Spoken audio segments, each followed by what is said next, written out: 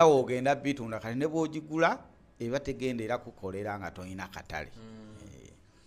Kaakati ekyo tukitegedde naye kyetukusaba kaakati abavubuka abali eyo abataagala kola kuba mu mboozi yo otulaga tewalinda kuweza bukadde watandika na mitwalo nsanvu okimanyi nti waliwo agirina nga aliwo alina n'obukadde obutaano naye nga talina kyakukola kati obawa amagezi ki abantu ngaabo abavubuka amagezi gembawa ekisookera ddala kwekkiririzaamu ekyokubiri ekintu kyeweetaaga zonna sente zoyina nga weetaaga ngaolina omutima ogukyagala okikola zisobola okukola. Kubanga oba okyetaaga okusinga lwenzija nenkugamba nti eh, mwowina endiba otekola ki nga gwe mu bwongo obwo togikola ki togiriimu.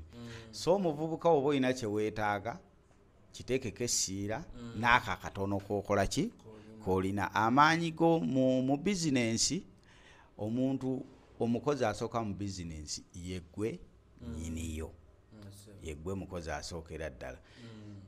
Abavubuka kyokka kyembakuutira kwekkiririzaamu buli wekkiririzaamu n'osalawo n'okola n'obuvumu bwo osobola okutuuka ku buwanguzi.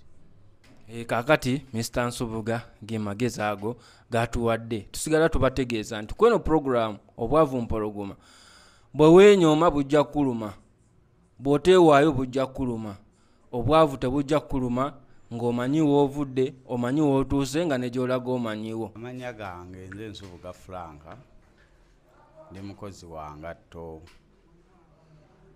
ekatwe opposite ne matazi church kizimbe bakiyita banadda house.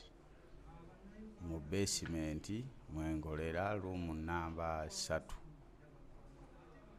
enamba yange y'essimu ku muntu aneetaaze eri 0 musanvu 50 kyenda mu bbiri asatu ziro ssatu emtn eri ziro musanvu musanvu ttaano ana musanvu ataano munaana abiri musanvu